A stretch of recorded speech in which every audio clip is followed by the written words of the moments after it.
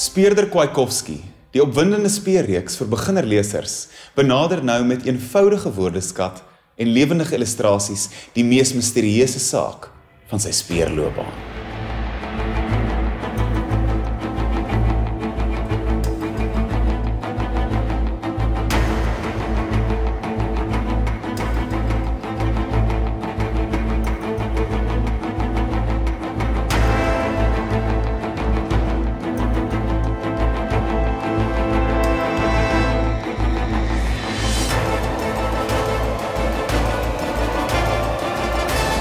Speurder Kwiatkowski, nou in boekwinkels en as e-boeke beskikbaar.